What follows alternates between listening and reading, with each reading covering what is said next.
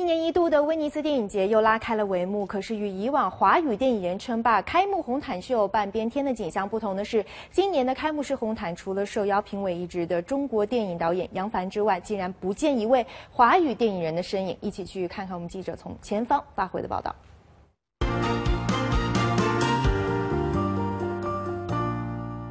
我是维嘉。现在是意大利当地时间八月三十号的下午四点半，我身后呢就是第七十四届威尼斯国际电影节开幕式红毯的现场。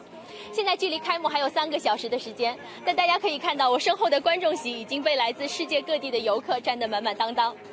值得一提的是，今晚美国男演员马戴蒙将随着他的两部作品《缩身》和《迷阵》登上红毯。一袭经典的黑色西服装扮，马特·达蒙携手身着红色透视长裙的妻子露西安娜·巴拉索惊艳登场。来自世界各地的闪光灯与影迷们的欢呼声，也因为他们的亮相显得更加热情。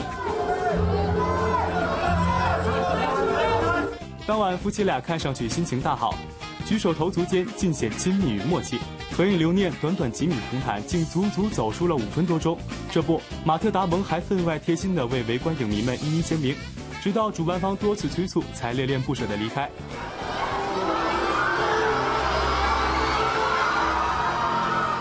在此次的威尼斯电影节中，由马特·达蒙主演的影片《缩身》作为开幕式影片进行了展映。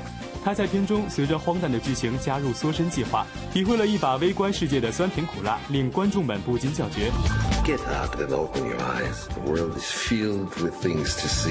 而由马特·达蒙主演的另一部电影《迷阵》，更是入围了本届威尼斯电影节的主竞赛单元，有望角逐金狮奖，所受关注不容小觑。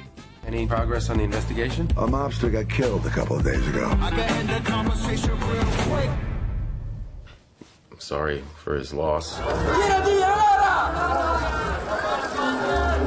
礼帽、长衫、围巾披肩，中国导演杨凡以第七十四届威尼斯国际电影节评委的身份亮相。他也是此次唯一一位登上威尼斯国际电影节红毯的华语电影人。